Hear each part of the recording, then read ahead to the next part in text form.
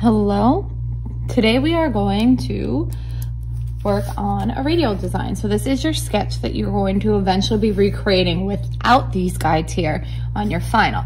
So first write your name here and then also write your team and your teacher there just in case it falls out of your portfolio. So you're gonna use the space below to design a radial design. Remember, a radial design is a design that repeats in a circular pattern.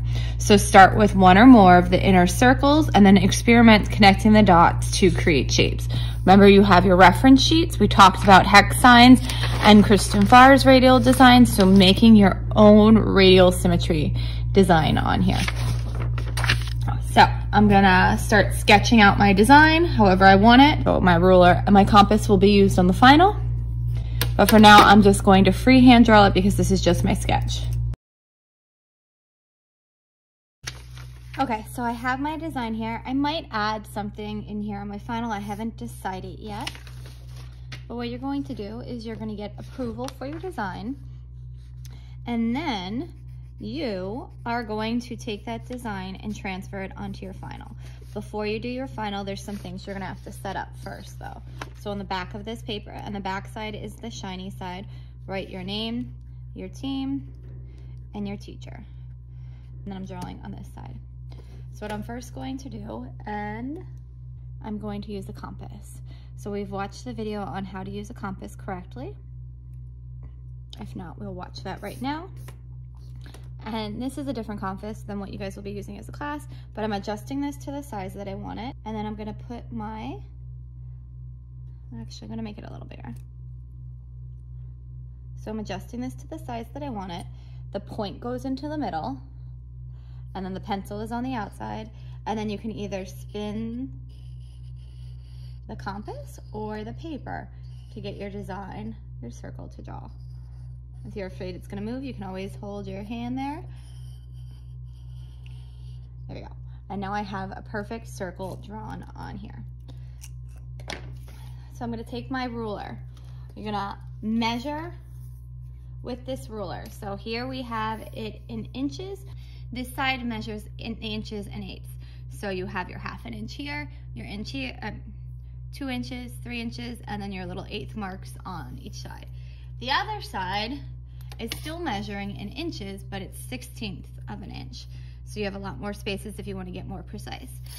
You should be fine using the side where it says an eighth of an inch.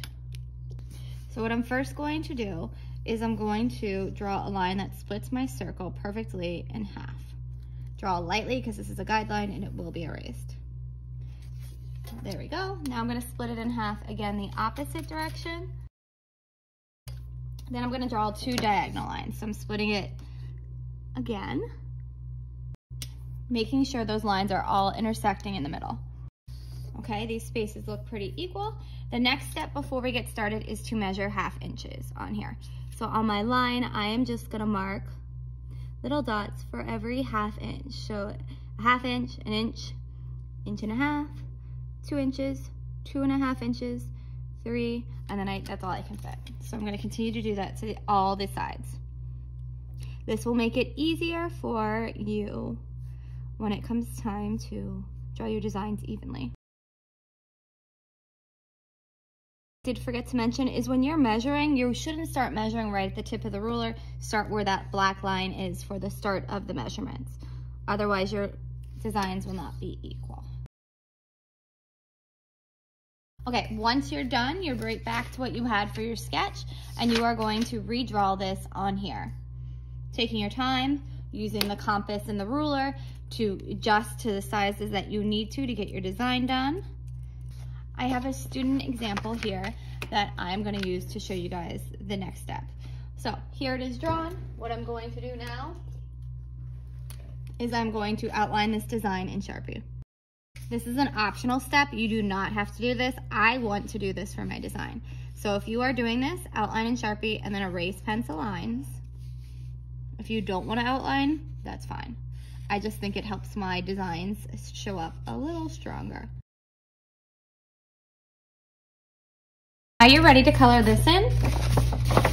I am putting a mat underneath, not because it's gonna go through the paper, but just because I don't wanna accidentally on the edges go out of my lines. We are using Sharpies to color this in. Color it in however you would like. Think about the color choices that go well together. When you are coloring with a Sharpie, go in the same direction for all of your lines so it looks consistent and nice. If you want the Sharpie to be a little darker in certain areas, you can do that two ways. So I could go over this several times with the Sharpie. So I'm creating value and shading there. Or I could take a darker color and add maybe some value and shading on the sides like that. So go ahead and color this all in. Take your time. Think about color choices that go really well together. Have fun.